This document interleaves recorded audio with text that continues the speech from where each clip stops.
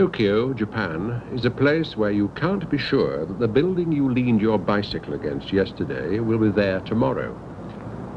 And since the war, the bomb, the defeat, and the boom, there's been the same high casualty rate among religions, which have sprung up new, fulfilled a need, and faded. So it seemed sense, even with traffic in a jam, the air heavy with diesel fumes, and urban claustrophobia moving gently up the windpipe, to look at a religion that, so far at least, has lasted. There have been Buddhists on these islands for one and a half thousand years, and this search is for Japanese Buddhism.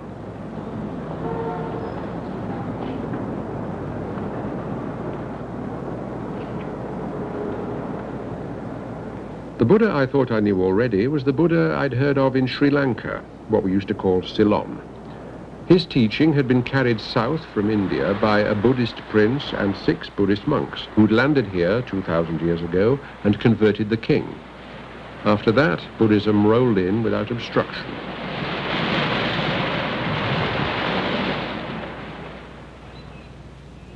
The Buddha, as remembered in Sri Lanka, is a man, the most extraordinary man, but a man. Questions like, who created the world, does Almighty God exist, if so, does he love me? The Buddha doesn't even ask himself. Nor, he said, should we. He taught a way, the way to nirvana. And when he taught, he died.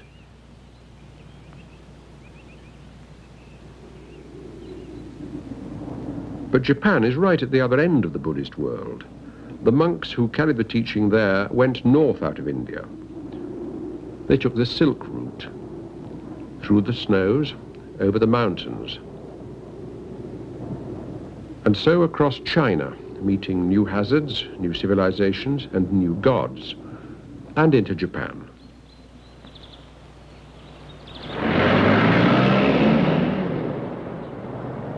I ask myself this question. If the Buddha of Japan met the Buddha of Sri Lanka after all this time, would they recognize each other?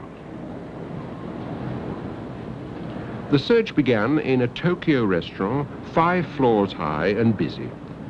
Its nickname, regardless of what the billboard says, is the Zen restaurant, and that's what intrigued me. Say Buddhism and Japan in one breath, and people like me say Zen.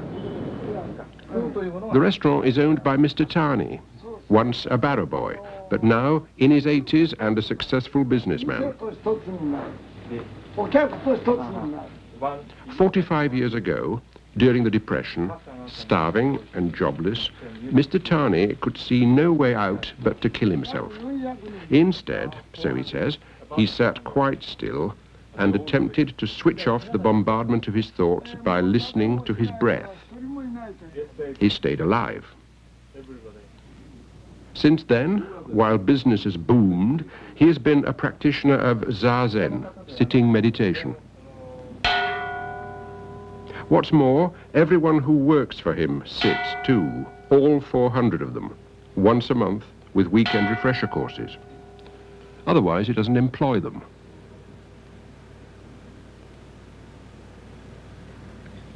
The word Zen I've heard described as a Japanese mispronunciation of a Chinese mispronunciation of a Sanskrit word which means something like meditation.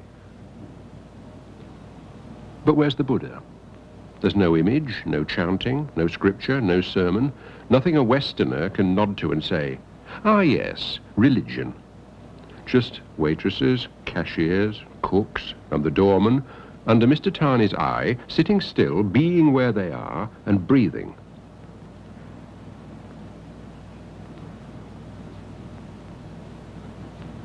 It's a mute affront to everything most of us think of when we say the word religion. But they call it Buddhism, all right? Zen Buddhism.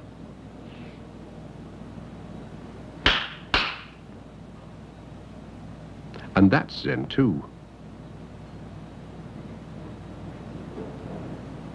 To the Japanese, Zen isn't the last word in Japanese Buddhism. It's just one of 13 traditional Buddhist schools and not even the most popular.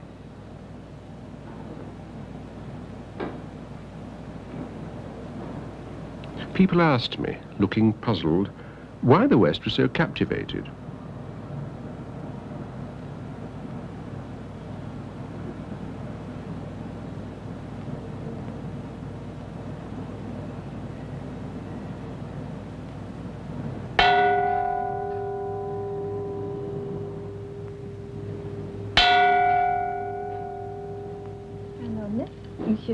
After the session, I had a word with the girl who got slapped.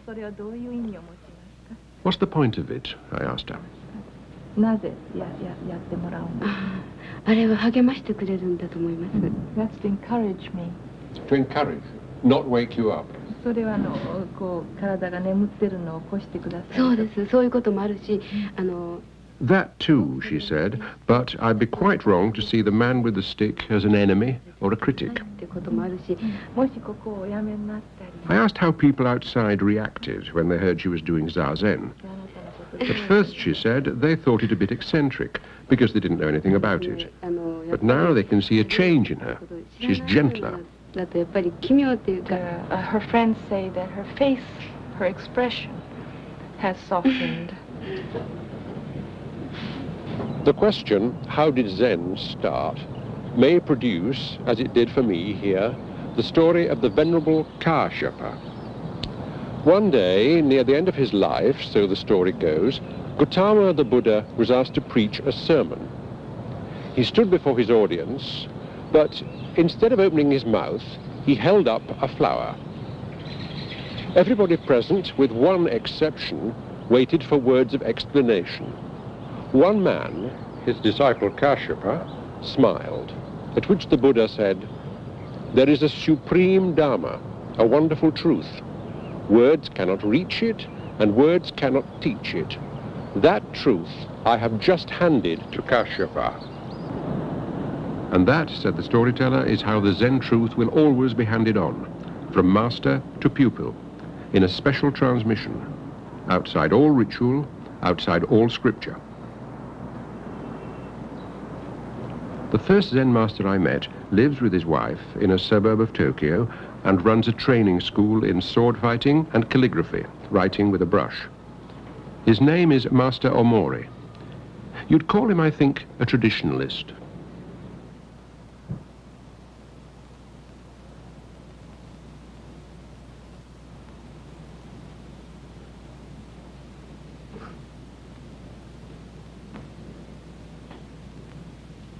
He described what he was drawing as the pinnacle of Zen.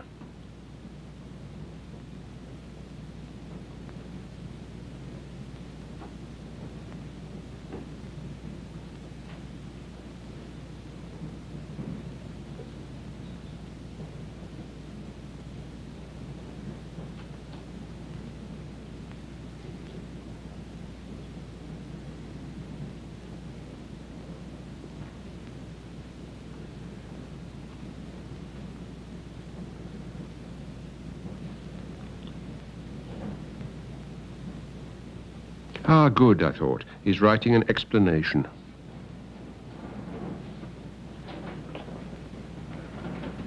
The words mean great empty circle.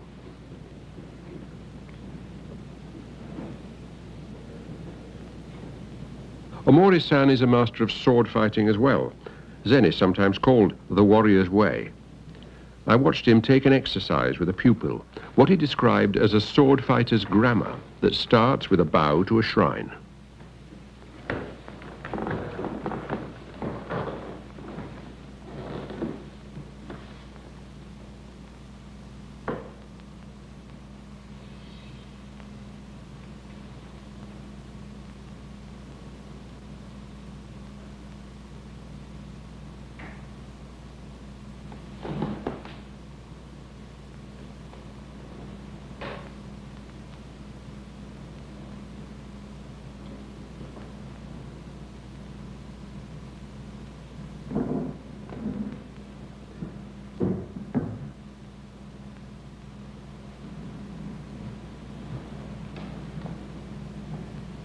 Next, he said, your hands salute the source of your energy. Not your thinking, weaving, scheming old head, but a place in your middle, your empty circle.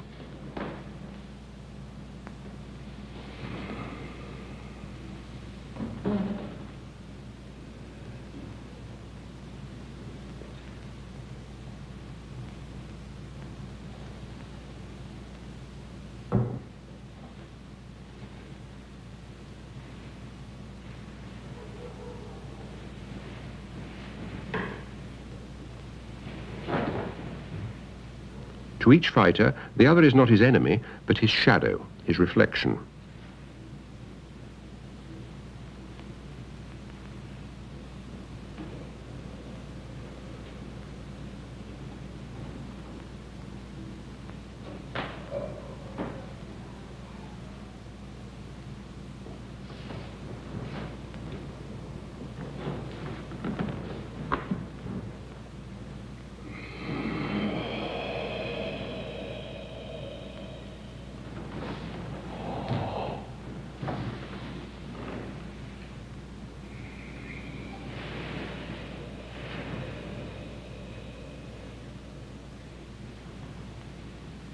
The moment you feel enmity or fear of death, he said, you're defeated.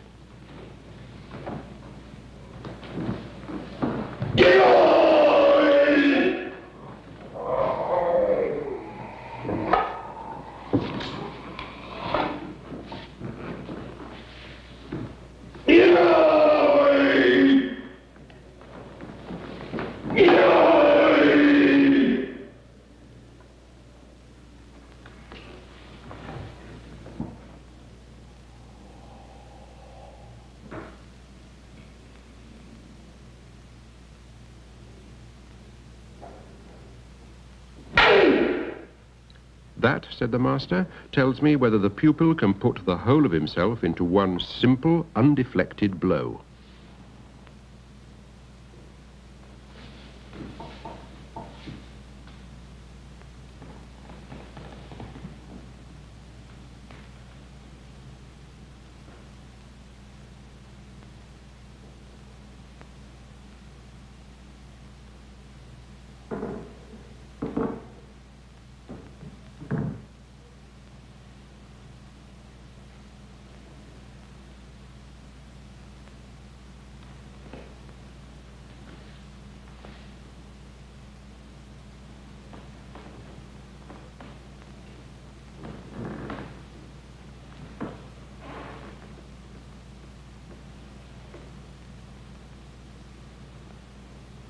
When they bowed to each other, they bowed to an image.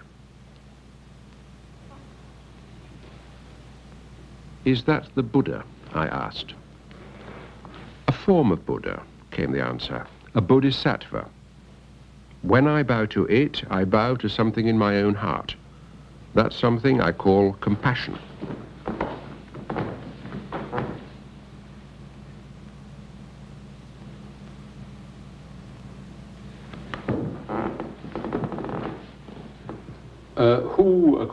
Master, is the Buddha? Who is the Buddha? えー老子の考えで誰をブダですんブダは誰ですか老子の考私です。え He is You are the Buddha. 皆ブッダ。ブッダ。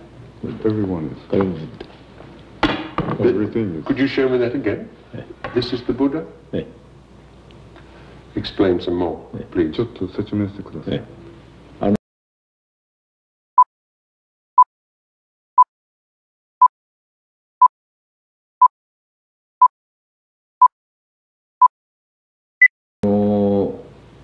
ッダというのはですね、我々の命の元がブッダ。 All are Buddha. What we call Buddha, he said, is not something outside which we worship. Our very basis is Buddha. 鳥でも Ourselves, heaven, earth, trees, birds, dogs, all are Buddha. 仏教の考え方 This is the way of thinking in Buddhism as I understand it. をこうお発見するために座禅をして Zazen, sitting meditation, leads you to make the discovery. The Buddha is not over there, but here. This is Buddha realization, waking up to our Buddha nature.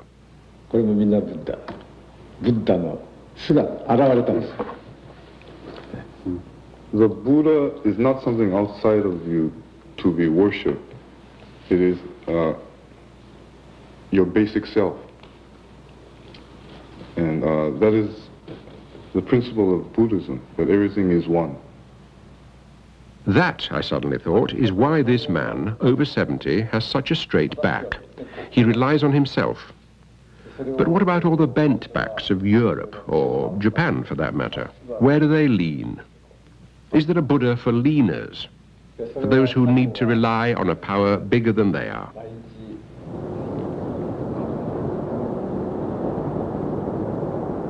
The bullet train takes you from Tokyo to Kyoto, over 300 miles in under three hours. And there's Mount Fuji. So on to Kyoto with a side thought from a train window. It's all very well for Master Omori to say, I am the Buddha, you are the Buddha, the people down there in those houses are Buddha. But one form of Buddha, at least, we are not. We are not the great teacher, 2,000 years dead, who's known as the founder of Buddhism. We're not in nirvana. I'm in a train. Kyoto, the old capital of Japan, set among the hills. On one estimate, there are in Kyoto 3,000 Buddhist temples and 1,500 Shinto shrines. Shinto means literally the way of the gods, in contrast to the way of the Buddha. It's the special nature and spirit worship of Japan. This is one of the biggest Shinto shrines in Kyoto. Worshippers make an offering, ring a bell, and clap their hands to draw the attention of the local spirit, or kami, their way. The spirit presence seems in some way to inhabit a sacred mirror.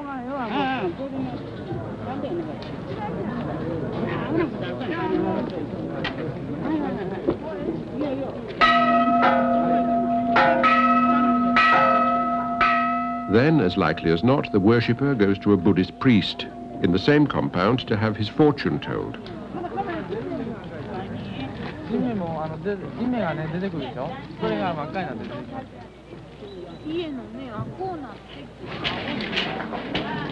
Over 1,000 years of religious harmony, which is what Buddhism and Shinto share, means that a man can have a Shinto wedding and a Buddhist funeral without changing sides.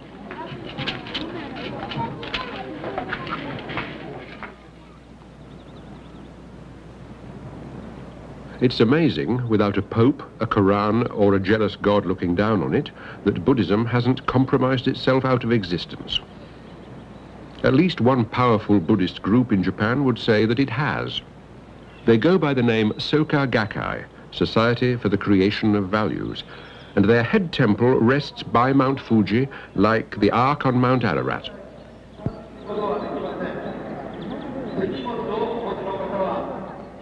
It's a building that speaks. Buoyancy, wealth, security, energy, hygiene, modernity, mighty capacity. Critics say it isn't even Buddhist. Soka Gakkai says it's not just Buddhist, it's Buddhism of the only true sort.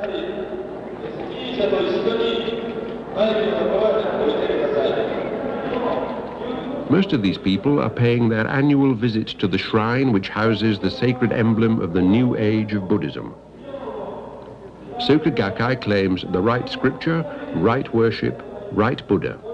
No longer Gautama, but a Buddha for these more strenuous days.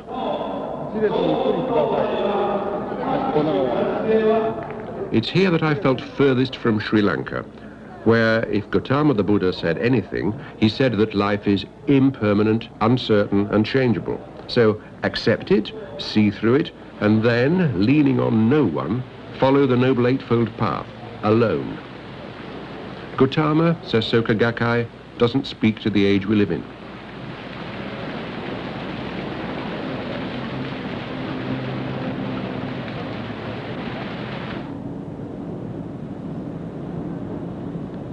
This vast temple in Kyoto belongs to one of the Pure Land sects. I came here because of a Zen monk who called Pure Land the bravest and best religious movement in Japanese history. At a time when Buddhism was for monks, scholars, professionals, the Pure Land teaching gave hope to the masses. And for 800 years, the masses have kept it going. They call Pure Land Buddhism the easy way, I asked for and got a child's guide to the teaching. It went like this. Somewhere there is a pure land where we shall all one day be reborn. The pure land is the land of Amida Buddha, Lord of light and life, who promises that we shall all one day join him there. Our gratitude to Amida is expressed in the invocation, I rely on Amida Buddha. This invocation, simple as it seems, is the Buddha's raft, which will take us through to the Pure Land, for we surely cannot swim there ourselves.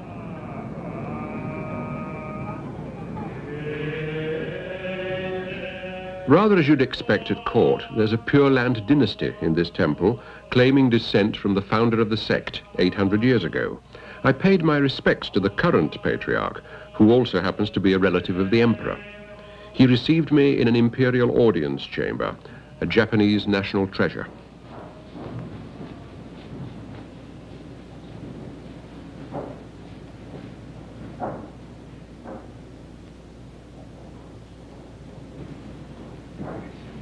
英国 BBC 放送局のロン・エア氏でございます。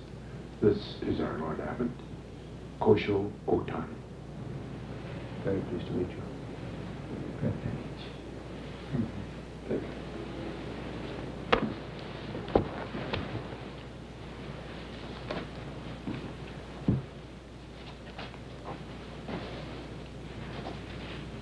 It felt odd to be sitting talking about Buddhism for the roughnecks, the helpless, the hopeless, the penniless, in a room which spoke to me of centuries of privilege and the flowering in pictures of a whole refined aristocratic civilization.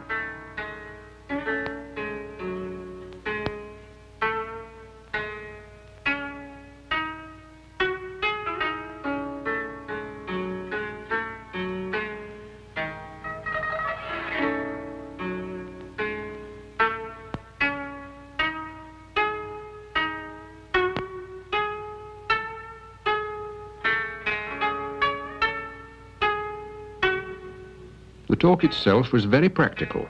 In effect, he warned me against being too literal, too Western, too concrete. The truth you can put into words and pictures, he said, is never the absolute truth. When I said the easy way sounded too easy for words, he said, not when you try it.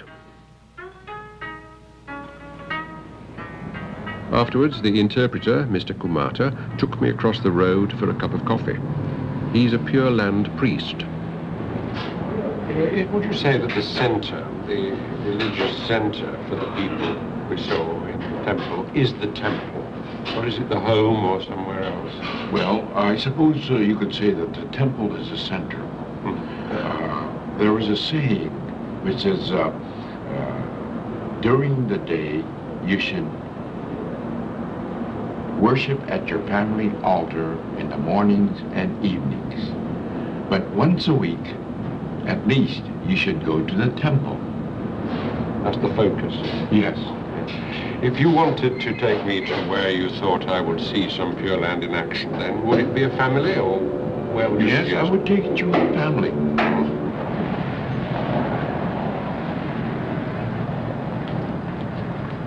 Along this street, in an off-center section of Tokyo, there's a family shoe shop. It belongs to a Pure Land grandmother, Mrs. Imamura, one of the 20 million Pure Land believers. こちらの方が、はいエアさんでございます。あれよく今村 Mrs. Imamura, we've got some presents for はい、 you. よく。はい Would you like to take them? お粗末なものでございますけど、どうぞ一つお下げくださいませ。 The idea behind the bowing seems to be that the one who stops first accepts the one-up position, which nobody publicly wants to do.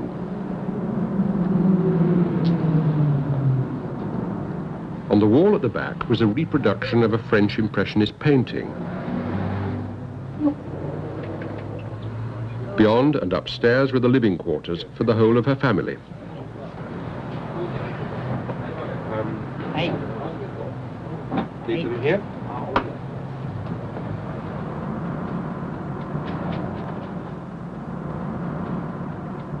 Son minded the shop. Daughter-in-law was at the sink. Grandchildren were at the television watching sumo wrestling, well described as the survival of the fattest.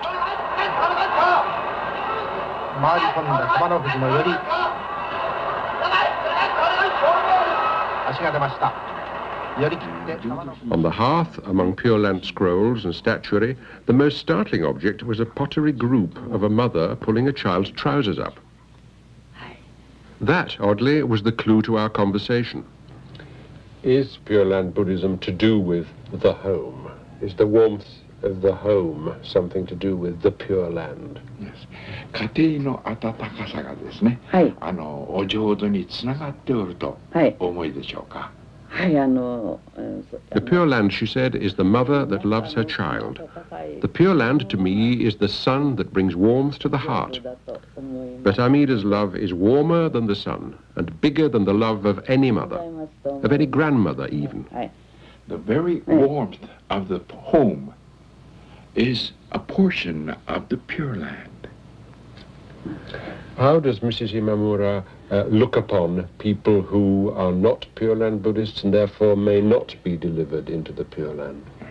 はいあの多種の方を見ましても To me, there is no differentiation between the devotee of the Pure Land and the followers of other religions. Eventually, I believe that all of the people will be delivered into the Pure Land through the Amida Buddha's uh, compassion. It's a bit of an irony to go in search of the Pure Land in the acrid and poisonous air of an industrial suburb, but that's where we went next. Mr. Kumata took me to the Sugita Wireworks in Tokyo.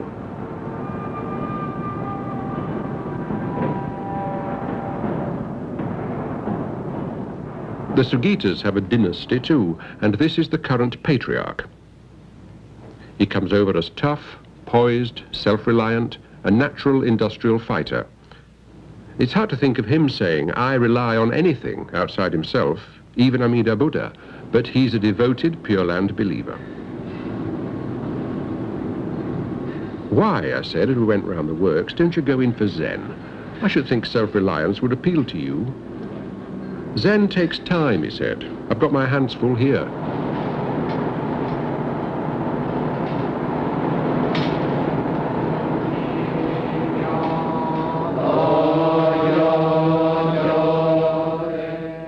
Once a month, workers, neighbours, anyone who wants to, joins Mr. Sugita in the room next to his office for a Pure Land service.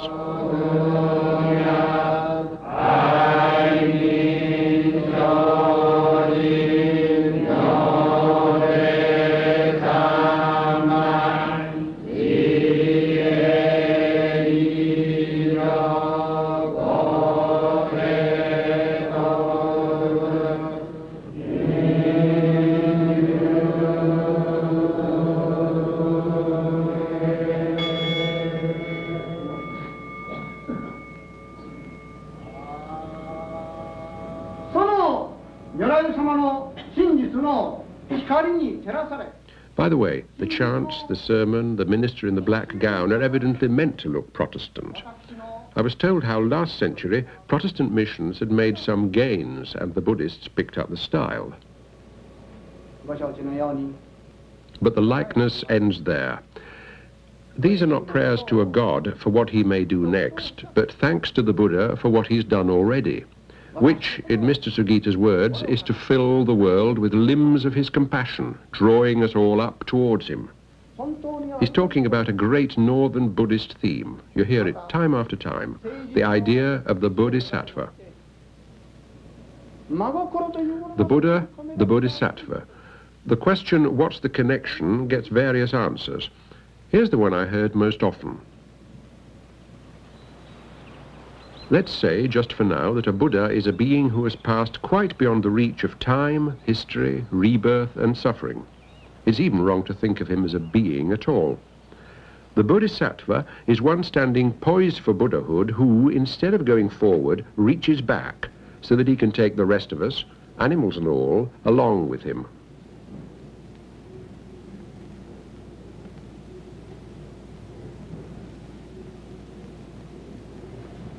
Buddhists can no more sculpt the compassion of the Buddha than Christians can sculpt the love of God, but they try.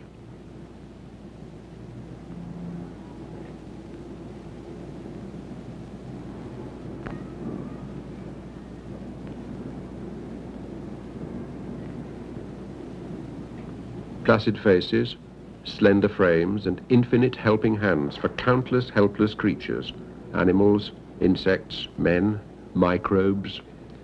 It's the idea of the great saviour.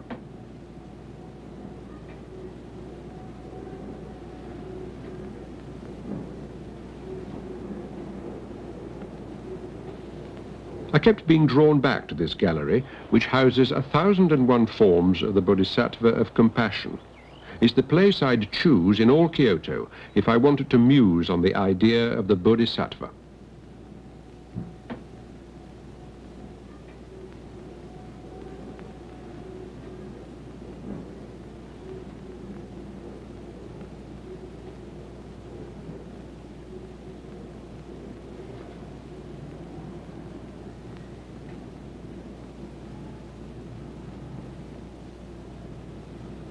a thought.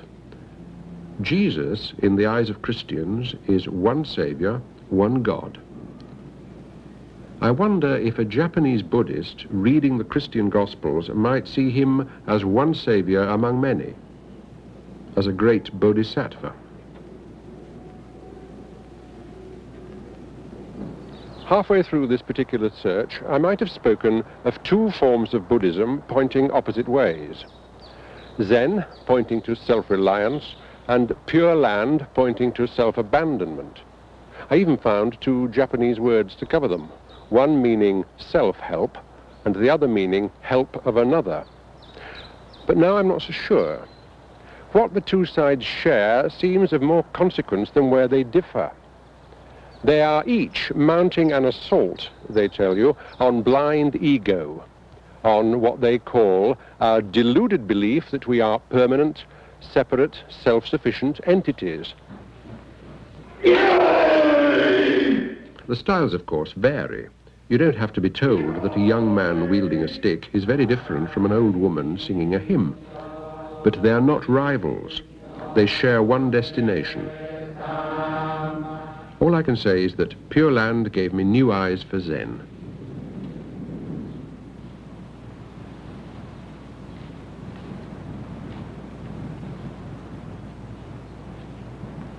Zen, said the archery master, is easy. The target is myself. I reach the point of no effort. The arrow leaves the bow. Buddhism, they say, is like a thorn you use to remove another thorn, the thorn of self. When the thorn of self is out, there's no more use for Buddhism. Throw it away.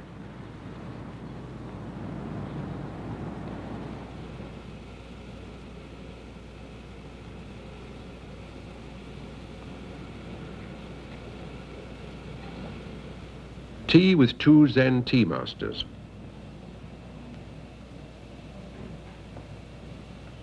The story goes that tea was brought from China to Japan by Zen monks who found it kept them fresh.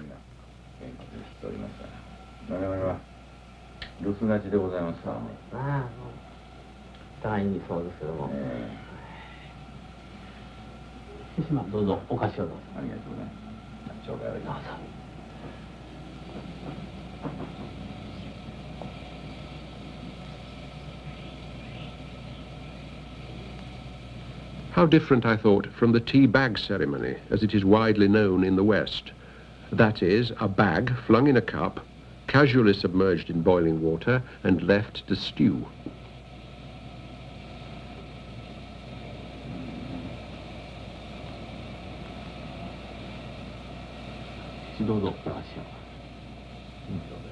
The purpose of the meeting is to be all there, not passing through on the way somewhere else.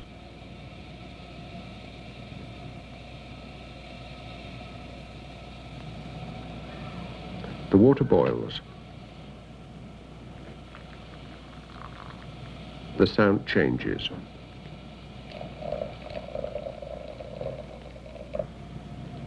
He whisks the tea.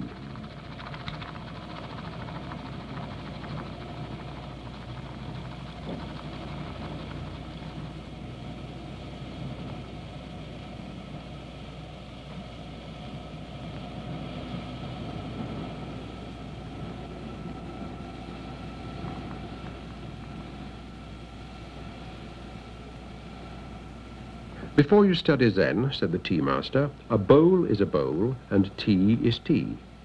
While you're studying Zen, a bowl is no longer a bowl and tea is no longer tea. When you're enlightened, a bowl is again a bowl and tea is tea.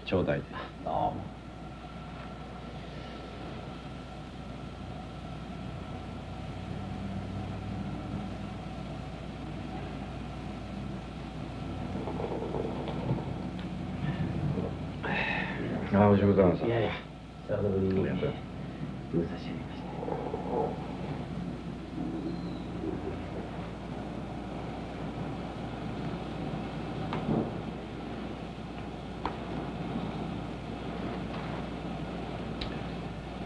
これはええご先代のはい。おその通りだってお手づくねですね。お懐かしますなああえお互いに、They're admiring the tea bowl.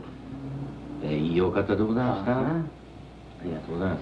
え目が遠山とかですなそうでございますか。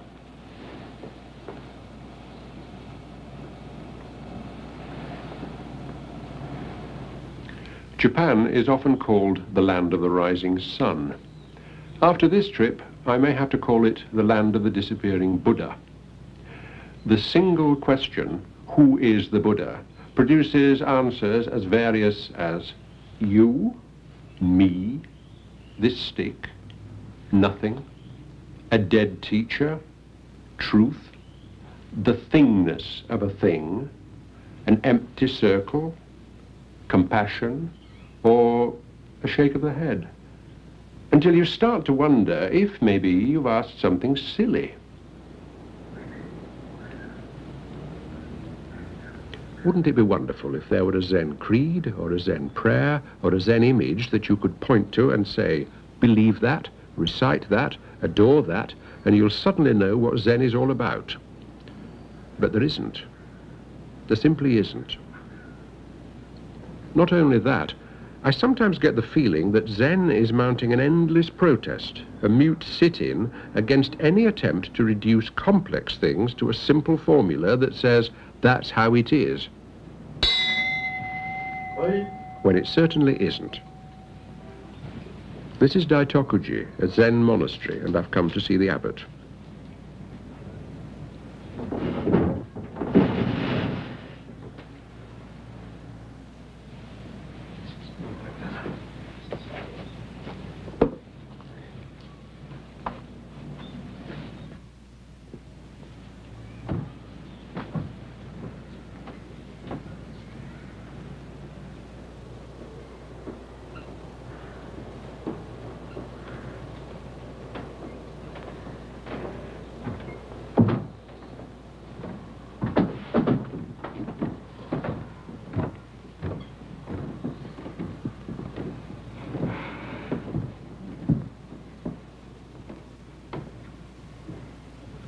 Look one way and there's room after room with mats, screens, no furniture.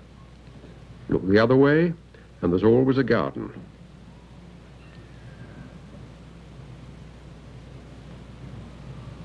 The abbot is Master Kobori. I had a feeling that I should walk extremely quietly. This was a natural feeling. Um, is this a deliberate intention on your part to keep sound very low? Well, yes.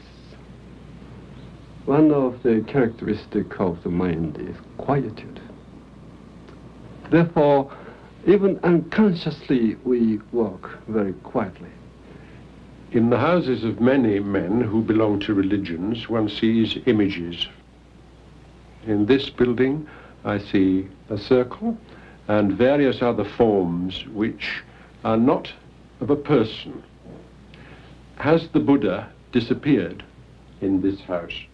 Well, uh, there is Buddha for those who do not know what he is really.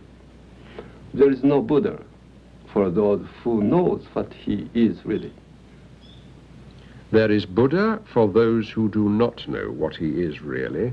There is no Buddha for those who know what he is really. What is the most important single thing that a man should do in his life? To know himself.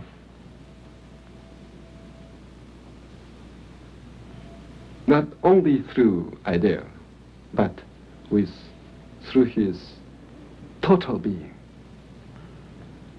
I believe it. And out of all the Zen activities I've looked at, archery, calligraphy, sword fighting, Zazen meditation, which is the one a man should start with? I can say Zazen, sitting meditation. But the sitting meditation looks so stiff and deliberate. Yes, in the beginning it is conscious, deliberate, formal. Everything is so, the beginning. It cannot be natural from the beginning. It looks uh, physically, certainly for most Westerners, extremely difficult to get your knees onto the ground, to have your ears and nose and belly in the right order. Uh, why is it so important to be exact about those things? Well, that is the physically most uh, balanced state. Physically. Just like stone placed on, on the ground. If stone is round, this will be moved by wind. But if it is exactly square, you know, then it cannot be moved easily. Now, a stone or a frog sits naturally, without effort.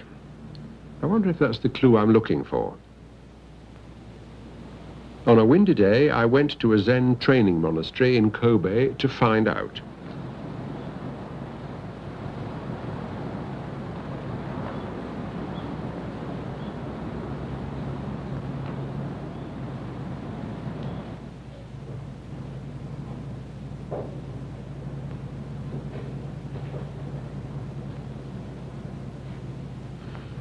When I was there, the novices were sitting five hours a day with short breaks. But sittings can last sometimes 18 hours, sometimes longer.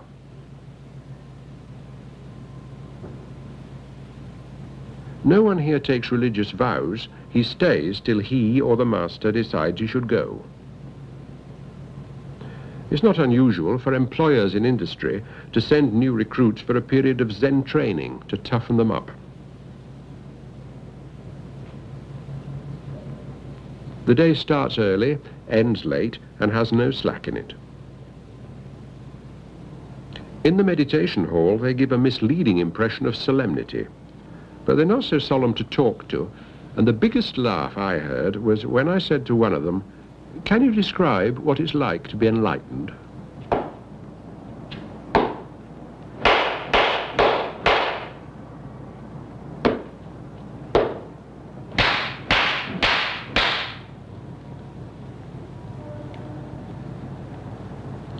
The novice master compared the slap on the shoulder with the slap on the backside of a newborn child. Both may need it to come to life.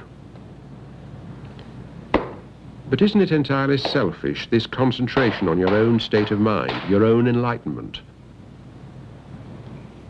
I took the problem to the abbot, Master Yamada Mumon, head of two monasteries, the man who's in print as saying that Zen in Japan is dead and ought to be re-imported from America. この通り笑いました。 He held a stick, and I had an alert feeling that at any moment he might hit me. What's the connection, I asked, between Zazen, sitting meditation, and having compassion for other creatures? えー座禅をすると我もなくなり Sitting in Zazen, he said, I become nothing, and everything becomes nothing. That is to say, I and everything melt into one. So when I see a flower, the flower is I. When I see the moon, the moon is I. All things become I. There is no greater love than this. Can Zen, I asked, ever be popular, or must it always be something for the elite? 昔の政治家は his answer propelled me out of the Japanese tradition and into the one I was born in. He quoted Jesus Unless the heart becomes that of a little child, a man cannot enter the kingdom of heaven. Zazen is becoming a little child.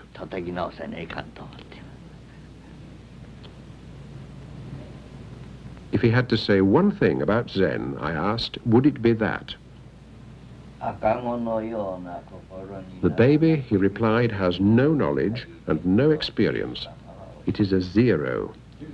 Yes. But zero, to me, means emptiness, vacancy. Could he explain, I asked him, how a zero can be something so desirable? So he took a stick and he balanced it on his finger. The past, he said, pointing to one side, won't come back. And the future, pointing to the other, has yet to happen. And here, pointing to the pivot, is the present. No extent, no substance, no permanence. Yet, if abundance is anywhere, here's where it has to be, in the empty moment, because that's all we've got.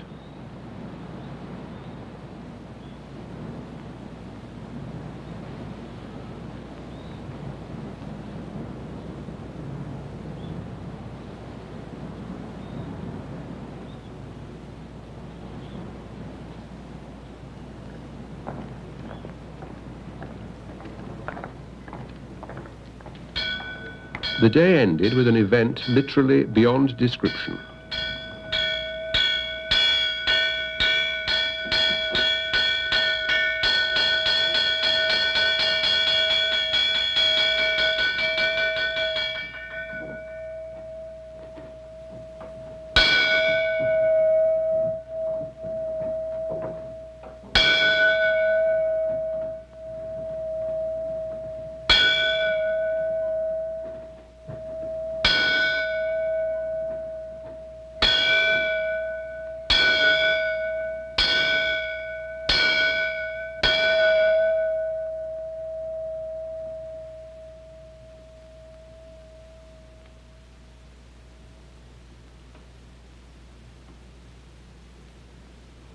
Seen from the outside, a meeting took place, as it does every day, between the novices and the abbot.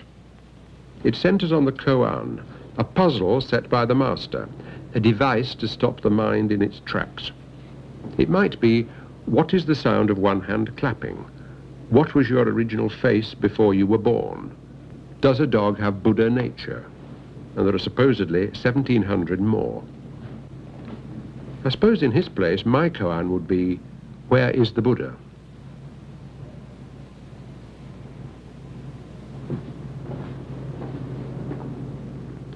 The answer, what anyone does or says, is something transmitted between novice and abbot, and them only. The novice repeated his koan. Does a dog have Buddha nature?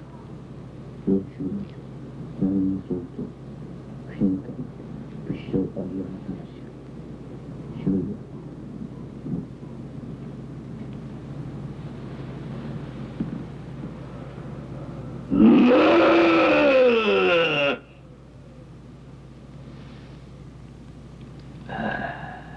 っ腹に力を入れて三昧に入って我もなければ世界もない。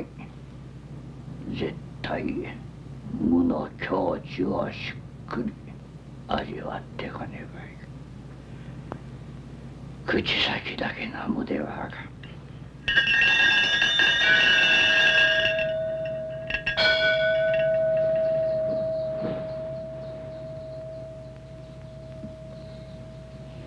His words were, You must put your strength in your abdomen, your middle, enter the state where there is no I and no world, and speak from emptiness. A word with the lips alone is no good.